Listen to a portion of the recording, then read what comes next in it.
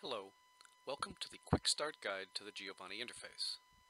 The following slides will show you the main features of the Giovanni System web interface. Here is the Giovanni interface main page. This is the first thing you will see when you go to giovanni.gsfc.nasa.gov. There are several fields that require information so that a visualization can be generated. Here are the five main components. The first field is the visualization selections. You can choose from the menus that drop down from each of the arrows. The second field is the time period selection. This is where you enter the beginning dates and end dates for the time period of interest. The third area is the region selection.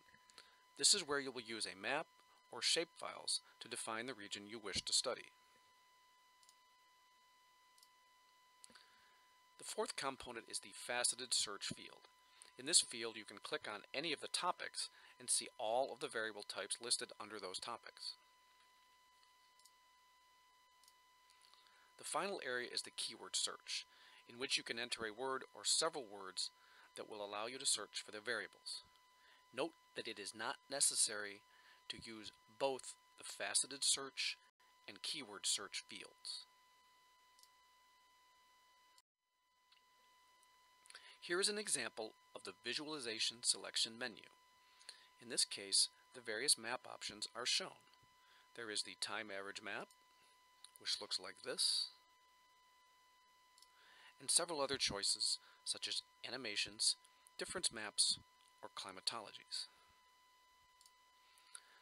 Other options in the visualization selection are time series, such as that shown here, or scatter plots, such as the one shown here. The next field is the time period selection field. You can enter the dates as year and month and day for the begin date and end date. One option. If you choose a monthly variable before using the calendar, you will only see choices for the year and month.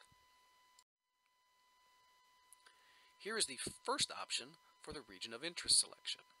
This is a map that allows you to draw a rectangular area of interest with the cursor on your machine.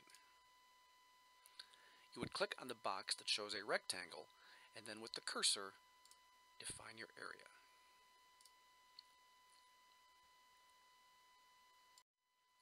The next option is to use shapefiles. If you click on Show Shapes, you will see the various options for shapefiles, which include countries, U.S. states, and major watersheds. In this case, the small country of Monaco has been selected. This shows what can happen when you use the faceted variable search. If you click on altitude, you will get four options for the tropopause height. This shows the options that are found when you enter the keyword chlorophyll, as shown here. Chlorophyll is an oceanographic variable, and data is available from the NASA Ocean Biogeochemical Model and sensors such as MODIS Aqua or SeaWiFS. There are two important buttons that you need to know about. The first one is the green Plot Data button. When you have made all of the selections, then click on the Plot Data button to begin the generation of a Giovanni visualization. The other important button is the feedback button. If an error is encountered in the processing, or if you simply have a question about a result you have made, click on the feedback button so you can send an email message to the GES DISC help desk. This message will be forwarded to the Giovanni support team. It will also forward the information for the session that you were conducting. Thank you for watching this demonstration and enjoy your use of Giovanni.